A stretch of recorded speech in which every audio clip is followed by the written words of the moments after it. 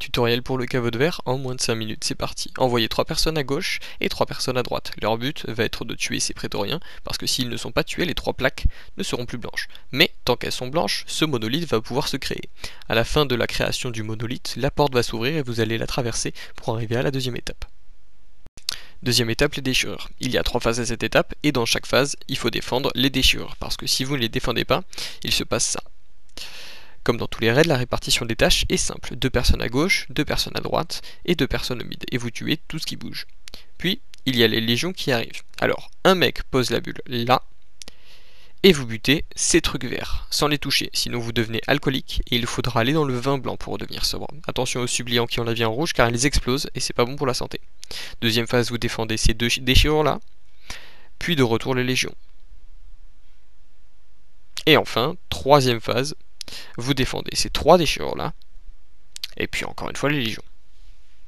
Troisième étape, les oracles. Le principe est simple. Quand ces bidules apparaissent, vous les détruisez. Pour ça, deux personnes à gauche, deux personnes à droite et deux personnes au mid. Ceux du mid tapent sur ces trois oracles-là, et de 1, et de 2, et de 3. Euh, ceux de gauche tapent sur ces deux oracles-là, et de 1, et de 2. Et ceux de droite tapent sur ces deux oracles-là, et de 1, et de 2.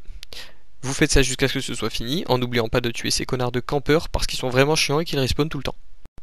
Quatrième étape, le Templier. Une personne va à gauche là, quatre personnes vont à droite là, et un mec prend ce truc. Celui qui prend ce truc doit connaître les touches pour lancer un super, L1 pour les gens normaux, et maintenir le bouton grenade, L1. Et c'est tout. Donc, un mec prend la relique pour lancer l'étape, et le Templier apparaît. La personne avec la relique casse ces deux oracles là à gauche. La personne à gauche tape sur celui-là, et les quatre à droite tapent sur ceux dans le coin là-bas. Quand le mec avec la relique a son super, il le lance sur le boss pour casser son bouclier. Attention, ça donnera une entrave à 3 personnes aléatoirement que vous devez casser. Une fois l'entrave cassée, celui qui pose la bulle la met au centre de ce cercle. Pendant ce temps-là, le mec avec la relique empêche le templier de se téléporter. Le chasseur tire sa flèche sur le boss, et le mec avec la relique active le mode gogol en faisant des allers-retours. Pendant qu'il fait ses allers-retours, continue à taper sur le boss jusqu'à ce qu'il soit mouru. Ensuite, vous arrivez au labyrinthe des gorgognes. Cette étape est très chiante parce que si quelqu'un se fait repérer par une gorgogne, vous allez tous crever. Si quelqu'un tire proche ou sur une gorgogne, vous avez deviné, vous allez tous crever. Et oui, et si quelqu'un fait trop de bruit proche d'une gorgogne, vous avez encore deviné, vous allez tous crever. Donc, vous vous démerdez pour trouver quelqu'un qui connaît, vous le suivez jusque là où je suis, et vous allez jusque là où je tire.